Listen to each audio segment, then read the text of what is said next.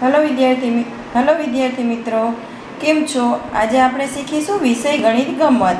તેમાં પ્રકરણ ત્રણ, તમે કેટલું ઊંચકી શકો?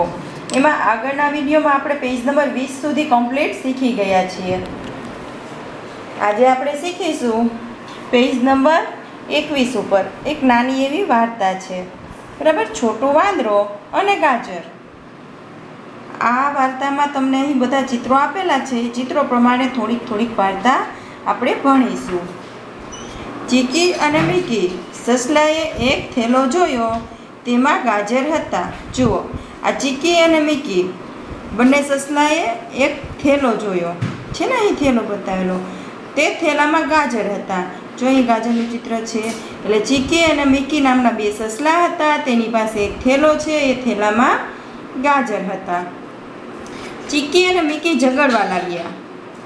બરાબર છે? જુઓ, અહીં ચિત્રમાં એક વાંદરાભાઈ છે, જે ઝાડ નીચે આરામથી સૂતા છે. હવે આગળના ચિત્રમાં જુઓ. ચીકી મોટા ગાજર લઈશ. એટલે ચીકી એવું કે હું મોટા ગાજર લઈશ. મીકી ના, હું મોટો છું. તેથી હું મોટા ગાજર લઈશ. જો ચીકી અને મીકી બંને ઝઘડો કરે છે. ચીકી એમ કે હું મોટા ગાજર લઈશ, મીકી એમ કે હું મોટા ગાજર લઈશ.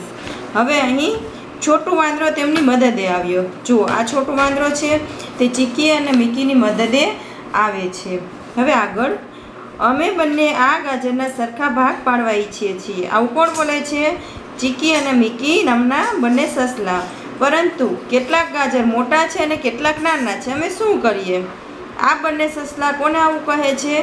વાંદરાભાઈને, છોટું વાંદરો. વાંદરાનું નામ શું છે? છોટું. હવે છોટું વાંદરો તેમને મદદ કરવા કશું લાવ્યો. હવે વિચારો, તેમને છોટું વાંદરાએ ચીકી અને મીકીની મદદ કરવી હોય એટલા માટે એ કંઈ લાવ્યો. હવે વિચારવાનું છે, એ શું લાવ્યો હશે? હું તમને મદદ કરું? બરાબર છે? હવે આગળ. જો, અહીં તમને એક ચિત્ર આપેલું છે ને અહીં તમારે ખાલી જગ્યા આપેલી હશે.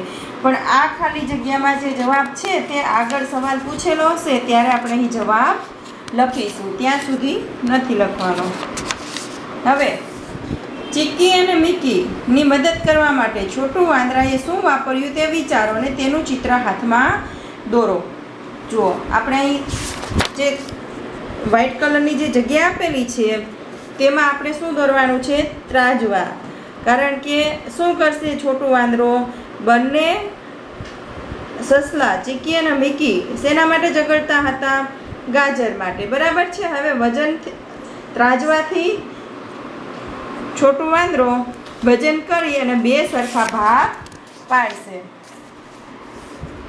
હવે આગળ શોધો. તમારા માતા પિતા તમારા પરિવાર માટે ગાજર ખરીદે છે. એકવાર ઉપયોગ માટે તેઓ કેટલાક ગાજર ખરીદે છે? શાકભાજી વેચનાર ગાજરને કેવી રીતે તોલે છે તો શાકભાજીવાળા ભાઈ હોય, તો એની પાસેથી તમે ગાજર કે કોઈ બી શાકભાજીની વસ્તુ ખરીદો. તો એ શેમાં તમને વજન કરીને આપે છે? હમ, ત્રાજવામાં. બરાબર છે? એટલે આપણે આગળ છોટું વાંદરાના હાથમાં શું દોરીશું? એક નાનું એવું ત્રાજવું દોરીશું. હવે સિમરન કેટલું ઉંચકી શકશે? બરાબર? સિમરનના પિતાએ તેમના ઘરના સ્ટોર રૂમમાં કેટલીક વસ્તુઓ રસોડામાં મૂકવી છે. સ્ટોર રૂમમાંથી વસ્તુ રસોડામાં મૂકવી છે. બરાબર? તો હવે તમને એવો પ્રશ્ન પૂછ્યો કે સિમરન કેટલું ઊંચકી શકશે? તો સિમરન સિમરન તેના પિતાને મદદ કરવા ઈચ્છે છે. જો અહીં એક નાનું એવું ઘરનું ચિત્ર આપેલું છે, જેમાં આ આ વિભાગ છે તે સ્ટોર રૂમ છે. બરાબર છે?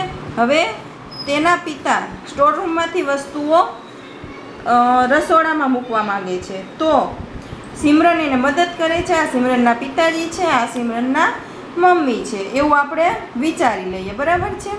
હવે જો એ સિમરન નાની છે એટલે સિમરનથી એક કિલો, બે કિલો કે પાંચ કિલોની વસ્તુ જ ઉચકી શકશે તે.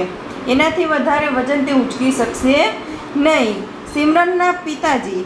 જેઓ મોટા હોય, એટલે તેઓ વધુમાં વધુ દસ કિલો કે વીસ કિલોનું વજન ઉચકી શકે. બરાબર છે? હવે આપણે અહીં એવું કીધેલું છે કે સિમરન કેટલું ઉચકી શકશે? તો સિમરન આપણા અંદાજિત સિમરન બે કિલોની વજન, વજનવાળી વસ્તુ ઉપાડી શકશે. એટલે બે કિલો વજનમાં જો અહીં શું છે? ખાંડ છે બે કિલો. એક કિલો મીઠાનું પેકિંગ છે. પછી એક કિલો ઘી છે. બે કિલો તેલ છે. આવી નાની નાની વસ્તુઓ સિમરન એના પિતાજીને સ્ટોરરૂમમાંથી રસોડામાં મૂકવામાં મદદ કરી શકે છે. હવે આગળ, કે સિમરન કયો થેલો ઉચકી શકશે તેનું અનુમાન કરો. જેમ મેં હમણાં કીધું કે મીઠાની થેલી છે, ખાંડની થેલી છે, પછી બે કિલો દાળનું પેકિંગ છે, એક કિલો ઘી છે, બે કિલો તેલ છે.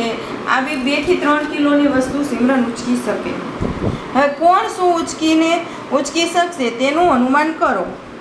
બરાબર છે? હવે જો અહીં એક પરિવાર બતાવેલું છે. માતા, પિતા અને બહેનો. બરાબર છે? નાની બહેન અને મોટી બહેન. હવે તમને અહીં સવાલ પૂછેલા છે કે તેના પિતાજી.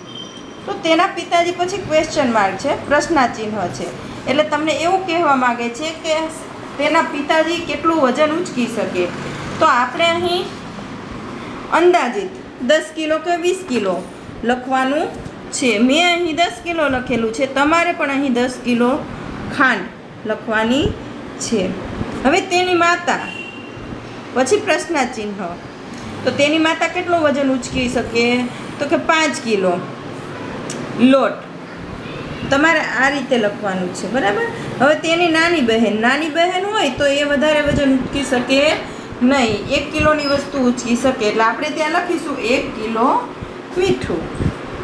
હવે શું સિમરન કોઈ પણ બે થેલા એકસાથે ઉંચકી શકશે? જો હા, તો ક્યાં ક્યાં? તો હા, તે ઉચકી શકશે.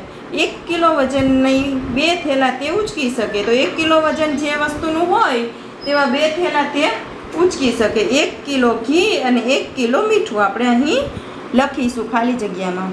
હવે તમે કયો થેલો ઉંચકી શકશો? અનુમાન કરો. આપણે લખીશું બે કિલો ખાંડ.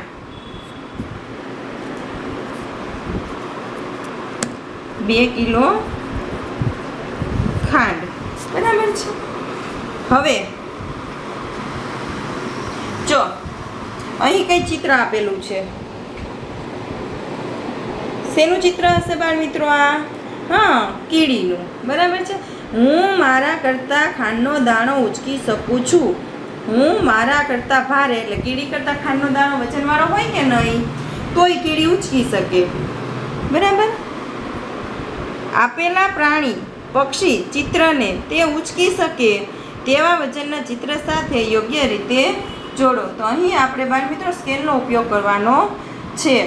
અને જે ઉપર પ્રાણી અને પક્ષીના ચિત્રો આપેલા છે, તે કેટલું વજન ઉચકી શકે તેની સાથે આપણે જોડકા જોડીશું. તો પેલું ચિત્ર છે પક્ષી.